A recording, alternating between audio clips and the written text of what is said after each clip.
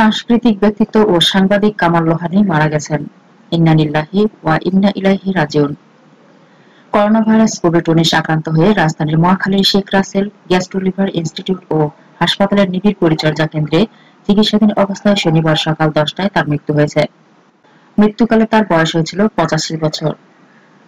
রাজধানীর Mohakhali Sheikh Russel gastro liver institute ও হাসপাতাল পরিচালক অধ্যাপক ডাক্তার ফারুক আহমদ তার মৃত্যু বিষয়টি নিশ্চিত করেন। তিনি জানান, সকাল দশটায় মারা গেছেন কামাল লোহানি। দীর্ঘদিন থেকে বার্ধক্যজনিত নানা সমস্যায় ভুগছেন কামাল লোহানি। গত মাসেও অসুস্থ হয়ে হাসপাতালে ভর্তি ছিলেন তিনি। শুক্রবার জানা যায়, তিনি করোনা ভাইরাসে আক্রান্ত।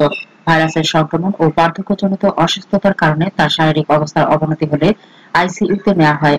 সেখানে চিকিৎসাধীন অবস্থায় শেষ নিঃশ্বাস ত্যাগ করেন দেশের বরেণ্য ও সাংস্কৃতিক ব্যক্তিত্ব। উনিশশো চৌত্রিশ সালের ছাব্বিশে জুন সিরাজগঞ্জের উল্লাপাড়া থানার সন্তলা গ্রামে জন্মগ্রহণ করেন কামাল লোহানী।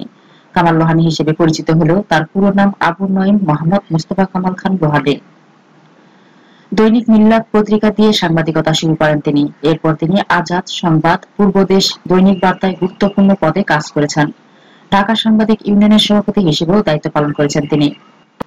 বাংলাদেশ শিল্পকলা একাডেমিতে দুইবার মহাপরিচালকের দায়িত্ব পালন করেছেন কামাল লোহানি।